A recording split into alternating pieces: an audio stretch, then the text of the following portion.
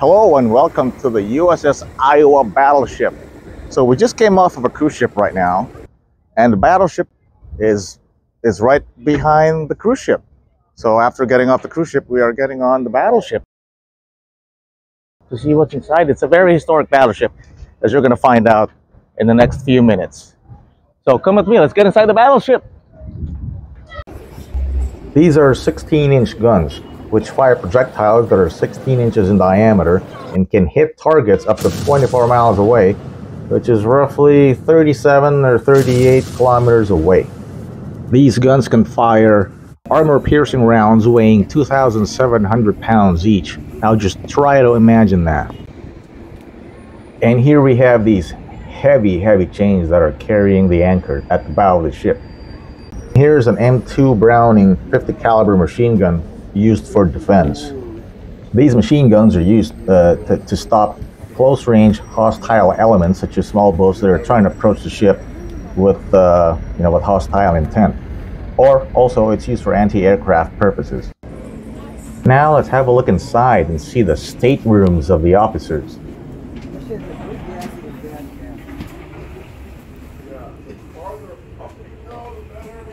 As you can see, it's not even close to the. I mean, these are officers.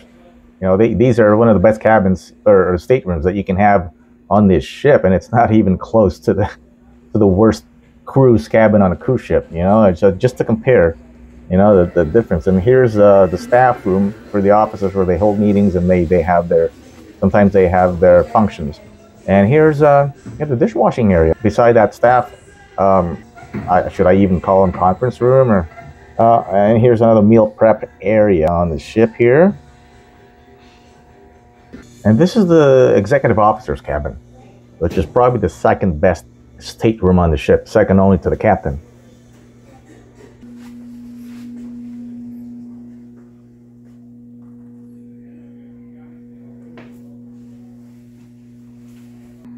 And, uh, you know, even officers, senior officers have to use a common bathroom. They don't have en-suite bathrooms like we have on the cruise ships. Just remember that.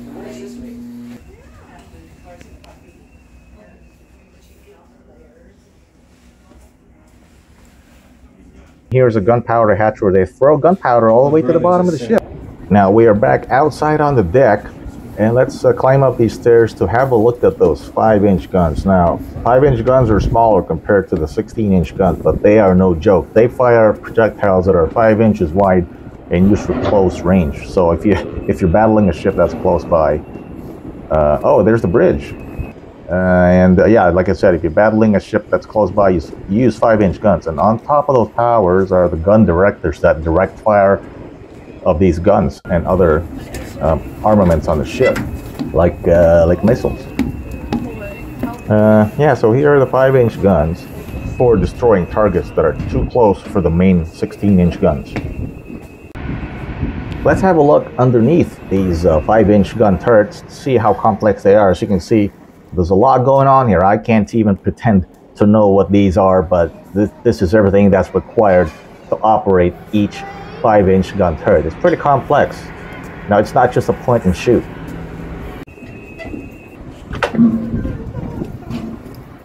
And what do we have here? We have a Phalanx or CIWS gun system. We're gonna look into that closely later on, but for now, here's the flag bridge just below the main bridge. This is where the Admiral sits, if the Admiral's on the ship. But now we are on the main bridge level, which is deck four. See, the Admiral Bridge, or Flag Bridge, is below this. Uh, yeah, we are inside the main bridge. And what you can see here, let me show you. Uh, there is this thing called the conning tower. Because it's, it's an armored portion of the bridge where, uh, you know, where you can still maintain control of the ship after the bridge has been hit. See, we are inside. You see there's really very small holes that you can look out of and all you can use really are instruments. But uh, yeah, it's a part of a ship where you could stay protected during battle. If you are inside the, the armored conning tower, which has 17 inches of, of, of uh, steel armor, uh, you're going to be protected and still be able to operate the ship, even after getting hit directly onto the bridge. Let's step out of the bridge here. And uh, yeah, let's uh, climb up another set of stairs. onto deck five. There's the CIWS right there, or phalanx. See, there's a portion of the armored conning tower that sticks out on top. Now we are on the uh, external or the open bridge on top of the bridge. Now um, it's a basically it's part of the bridge that sticks out on top, out in the open for greater visibility. Uh, you don't really need that in modern ships, but this isn't. You know, the ship was built in World War II, so they still had the open bridges. But if you have more information about it, this is all I know. Let me know in the comments below this video. And uh, yeah, you can look up there. Those are the fire directors for your various weapon systems, from guns to missiles on the ship. And uh, yeah, here are your instruments. From what I know, the compass does not work inside an iron, uh, I guess, an iron-clad ship like this one. It doesn't work well inside, so it has to be outside. That's one of the reasons I understand why they had the open bridge uh, on these older ships, because the compass does not work well inside. Let's get on to the CIWS here, the CIWS weapon system or phalanx. These uh, these guns, they're anti-aircraft Gatling guns, really high powered, but they have been nicknamed R2D2 for obvious reasons. If you're wondering what CIWS stands for, it's CIWS. It stands for Close-In Weapon System because it it uh, it defends the ship from close range threats like airplanes and this thing can hit missiles, you know? Because, listen to this, this gun can fire uh, 20 millimeter diameter rounds at, get this, 4,500 rounds a minute. That is 75 shots fired every second. And it's controlled by radar, so it can hit missiles and planes and wherever else you have uh, that are approaching the ship at close range. Speaking of missiles and incoming threats, close range, uh, what we have here are SRBOC launchers. Uh, it's short for Super Rapid Bloom Offboard Countermeasure Chaff. It's, uh, it's a system that fires bits of metal into the air or even fireworks to, uh, to fool incoming missiles from the enemy. So if, uh, if your other defenses fail to catch an incoming missile or cruise missile or anti-ship missile, uh, hopefully these are going to catch them and uh, you know hopefully the, the missiles are going to hit the exploding pieces of metal instead of your ship.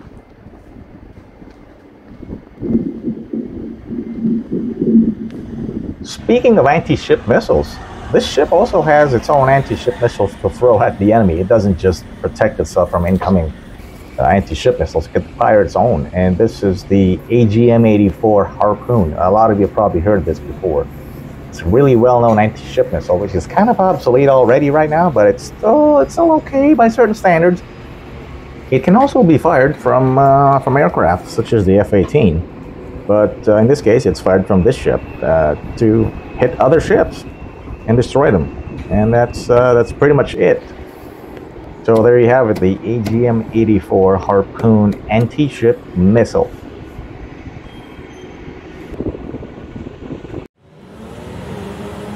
Now this is a weapon system that a lot of you know about. It's a Tomahawk cruise missile. And here's a launcher right in front of me. It can hit targets up to 1500 miles away or 2400 kilometers away.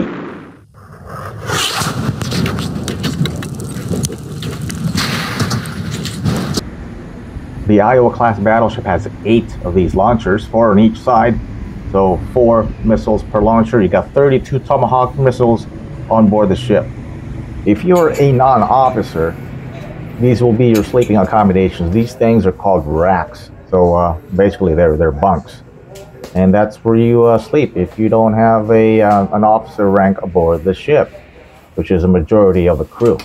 Earlier, you've seen the sleeping accommodations for uh, officers and junior officers. Well, if you're not one of those guys, these are your sleeping accommodations. You got a little bit of area here to hang out.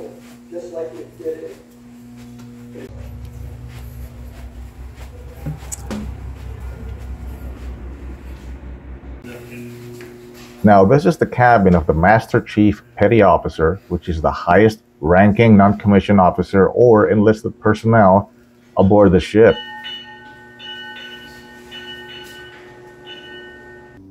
Here's an armored communications tube for vital communications aboard the ship. So, you know, when the ship gets hit, your communications will not be severed because your important vital wiring for important communications are inside the armored tube and it goes all throughout the ship. Now, if you ever wonder what happens to all the garbage and trash aboard this ship, well, here's the garbage incinerator. You see, it's, uh, yep, all your garbage is incinerated right here. So you don't leave a trail of garbage when you have enemy ship closing in after you. And uh, close by, surprisingly, is the bakery. And it's, uh, yeah, there's a food preparation area here. And uh, yeah, you, you can see with the uh, with the equipment here that this is the bakery. And hey, we got some bread in the oven, huh?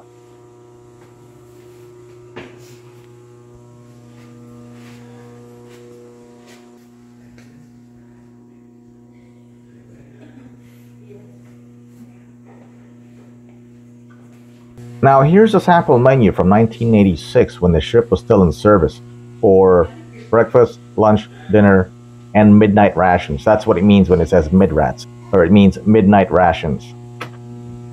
Because for those who may not know, this ship was in service from 1943 to 1992. Now, okay, we're here in the mess hall. One thing you should know about Navy ships is that they serve the most delicious meal for their crew because, you know, it, it helps with morale, especially if you're in a war you don't want to be depressed with your food. I mean, that's, you know, that's one of the things that you look forward to when you are in the Navy.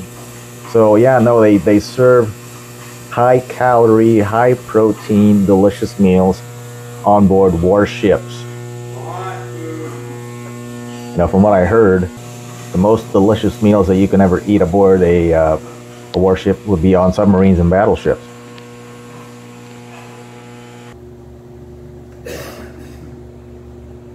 Looks like you got a muffin tray right there. Uh, yeah, and uh, yeah, like as I said, a lot of delicious meals were served aboard warships. Got some fruits here. Oh, look at all that lemon there.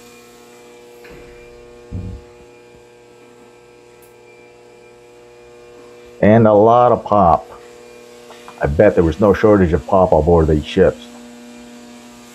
And uh, yeah you got some you got some coffee machine right here. Uh, yeah this is a milk dispenser right here.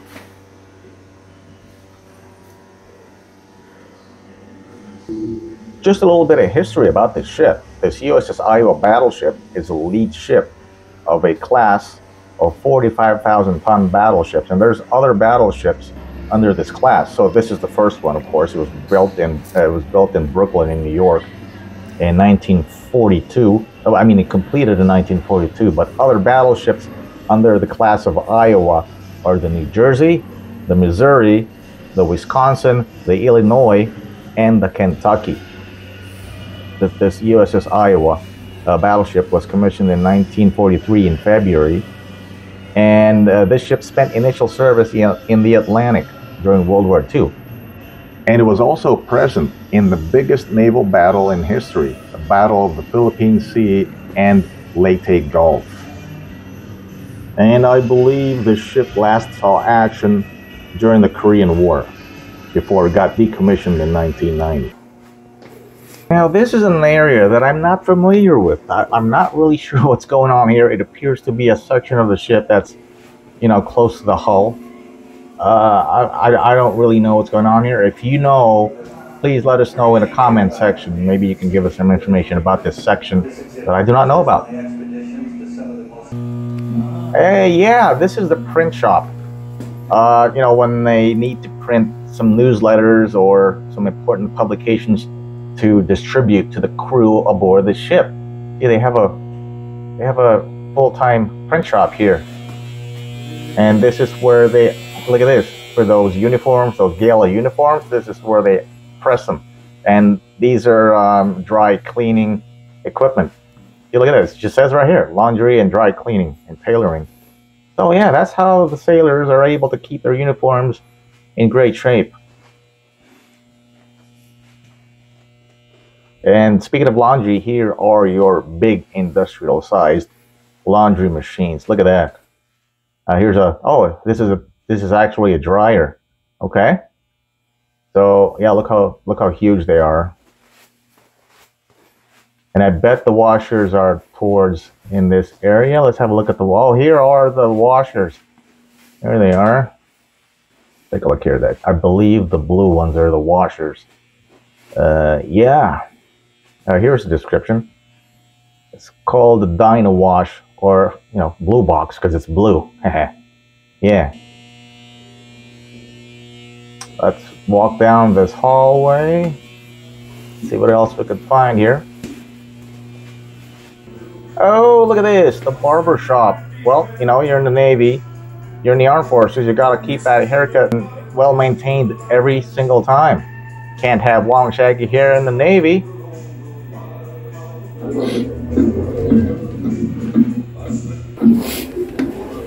at that, we're back out in the sunshine. Ooh, just like that, we're, uh, well, we're actually towards the, uh, the rear. Yeah, we're at the rear of the ship. Okay, okay. I thought we were coming out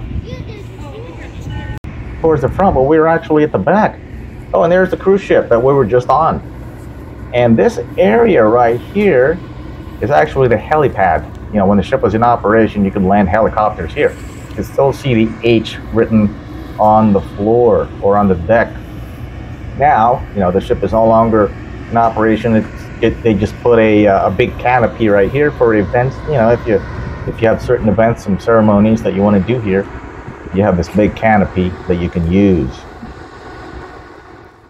So this concludes our tour of the Battleship Iowa.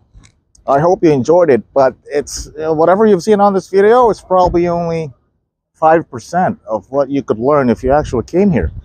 But for those of you who cannot come here, at least I've been able to impart some knowledge about the ship, about the history, and uh, seen the interior. So I'm glad you enjoyed the, uh, I hope you enjoyed the tour that I did, that I just did. But for you, or for those of you who can come over, I would highly suggest you come over because there is a lot more you could learn on this ship by being here. It's a lot more. You could spend all day here and uh, maybe not even enough.